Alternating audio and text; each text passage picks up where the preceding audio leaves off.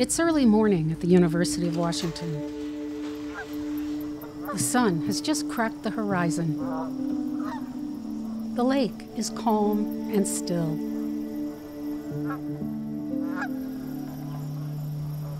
But the Conibear Shell House is buzzing.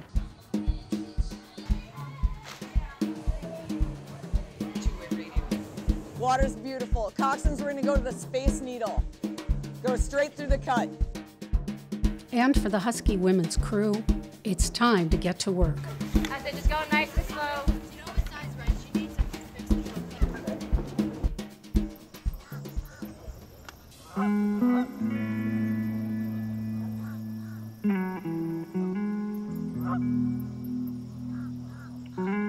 The shells cut through the lake with ease, but it takes hard work to make it look so effortless.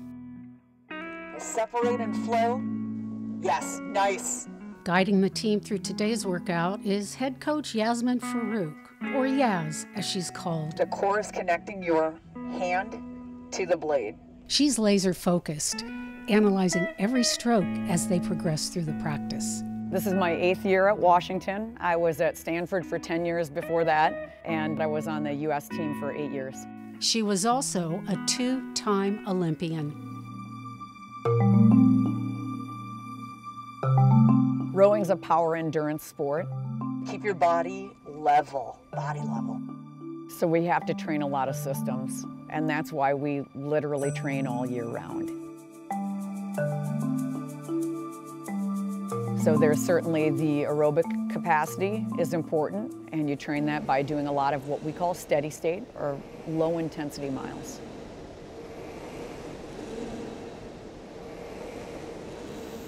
Then there's also power, which you need to get off the line and to be able to sprint. So we do a lot of lifting. We lift two to three times a week, depending on the time of year. And then there are the intangibles. It's the people, and it is what they are willing to do for one another. The character that they have, like that transcends everything else. That's the most important. The unwavering determination of today's teams can be traced back to the early pioneers of the sport. The history of the University of Washington women's program is exceptional.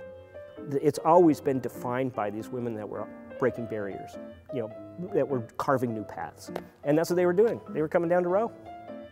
The first documented report of women's rowing at Washington was in 1903. But it didn't really take off until Hiram Conibear was hired as the coach in 1906. Hiram Conibear is the classic founder. He's our founder. Even though we had started rowing before he arrived, he is the founder of Washington Rowing. Conibear was a huge advocate for women's rowing and wanted women to train just as vigorously as the men and to compete. College administrators, however, disagreed. They thought a beauty contest with matching outfits and graceful sculling was more ladylike. And Hiram Conibear each time pushed back at the University of Washington. He, he would not be stopped. He just would not be stopped. Conditions for the women were dreadful. Their boat shed was cold, leaky, and had no bathroom. They had to trudge through muddy trails at 6 a.m. to get to the men's boathouse to borrow their boats. And they were forbidden to race, but secretly, They'd go around the corner and go full, full power, for sure. over the next decade, three influential women coaches continued Conibear's work, growing the program into the most popular athletic activity for women on campus. Then, in 1917, the program abruptly ended. It was Hiram Conibear dying, so right there they lost their number one advocate. It was World War I starting, so suddenly campus was radically changed. The boathouse was closed. and women's rowing disappeared for five decades. It wasn't until 1968 that rowing returned to campus as a club sport, and again, they put up with inadequate funding, hand me down equipment, and harassment from the male rowers. The 70s were marked by this transition that was created by Title IX. And so they went from being a club sport to a varsity sport. Conditions improved, but not without strong advocates like athletic administrator Kit Green. Under her guidance, women's sports flourished and the rowing program took off.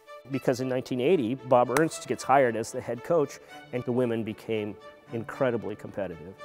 And they won the national championship 1981, and of course, then won the national championship in 82, and in 83, and in 84, and in 85. So, five national championships in a row. It's never been done since. Another gifted coach followed Ernst. Jan Harville, former Washington rower and women's assistant coach, took over as head coach in 1987. She led the Huskies to 11 Pac 10 championships, three NCAA championships, and was Coach of the Year nine times before retiring in 2003. For the next 13 years, the Husky women continued to perform at the highest level, adding more accolades to the team's storied history. All of those chapters of this history are why we have what we have today. We wouldn't be who we are if it wasn't for those women.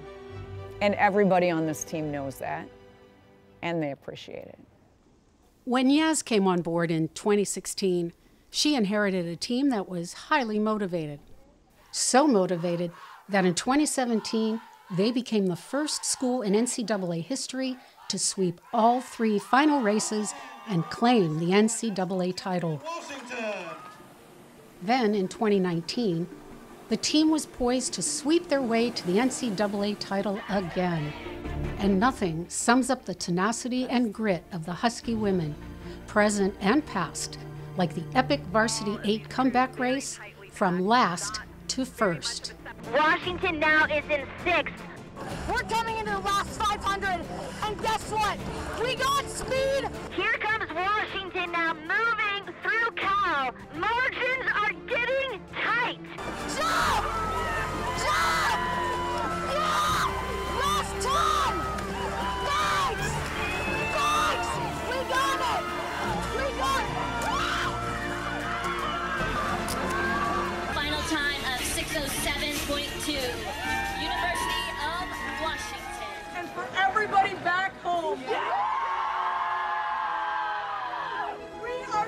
national!